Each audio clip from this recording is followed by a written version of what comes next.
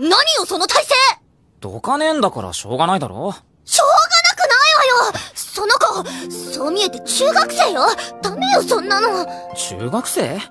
またまた。ほら、えっと、白亜様、ちゃんと座布団に座りましょう。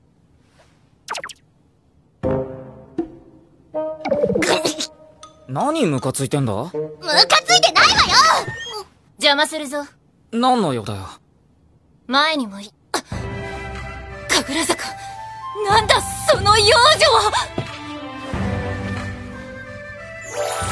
くだらないな。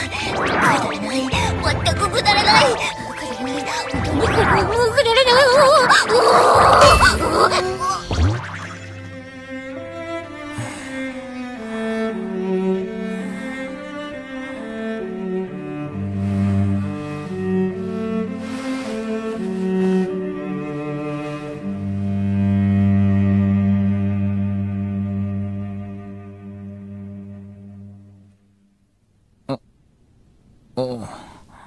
目が覚めましたか？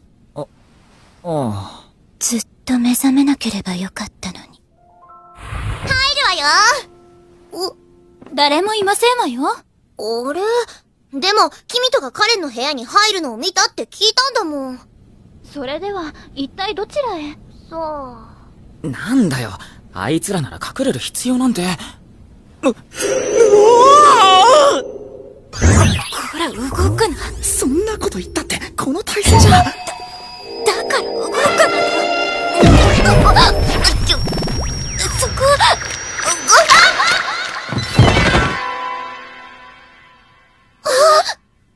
君と君と様え君と、あんたそこで何を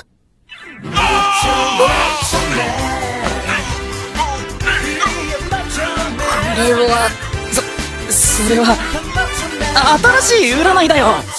そうなんだ。え？これが占い？え？じゃあやるしかないわね。え？ほら早くうえうえうえ